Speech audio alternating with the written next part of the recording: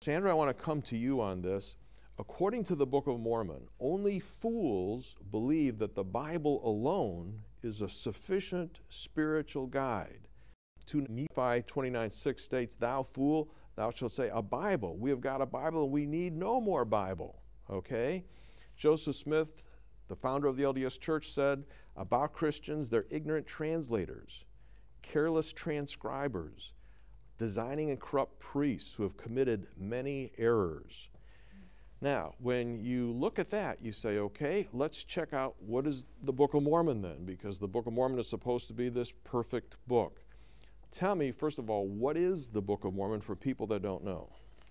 Well, the Book of Mormon purports to be the story of an Old Testament prophet named Lehi, who, with his family, immigrate to America just after 600 BC, and they come over here and set up a group of Israelites who supposedly keep the law and they are faithful to follow God.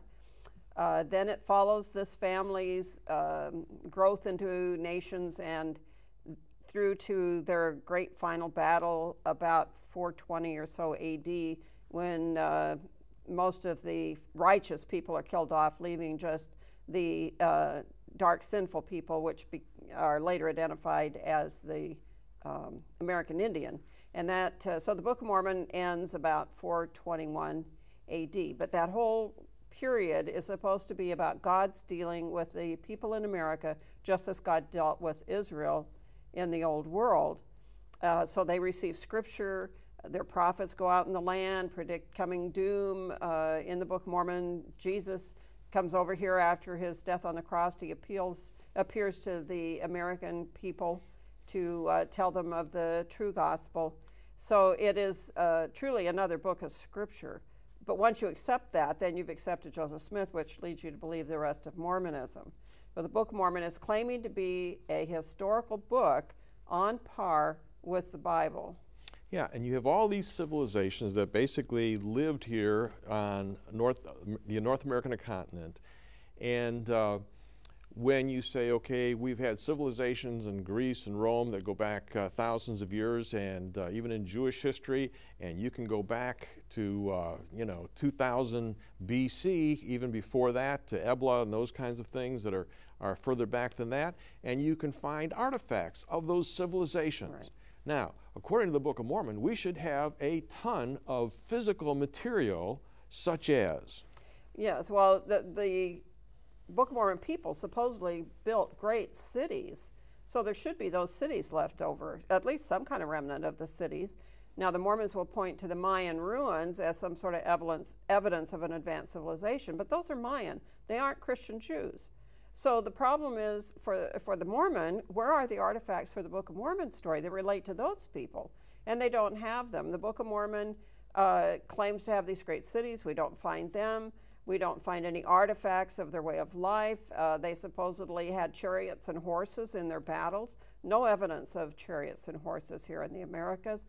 They had steel swords. There's no evidence of that kind of level of metallurgy here in the Americas. All the way through, you find these problems to make the Book of Mormon history. With the Bible, you can learn Hebrew and Greek and do your own translation, but no one knows the language for the Book of Mormon people. There's no sample of their writing. Well, Joseph Smith made a little piece of paper called the Anthon Transcript where he gave a sample of supposedly the writing on the Book of Mormon plates, but no sample of that writing has ever been found. When Mormon missionaries have come by my house or other folks' houses, I've heard them say, you know, the archaeological evidence for the Book of Mormon is overwhelming. I mean, it's outstanding. All you have to do is check it out. Yet, Dr. Wilder, one of your colleagues at Brigham Young put it this way no one has found any inscriptional evidence for or material remains that can be tied directly to any of the persons, places, or things mentioned in the Book of Mormon. All right?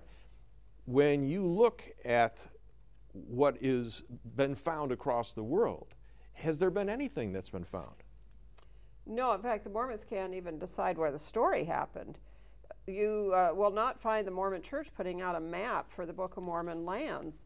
Uh, they uh, won't commit themselves to a location because there's no artifacts. And if they state that it was here or it was there, then you would know where to dig and you would expect to find something.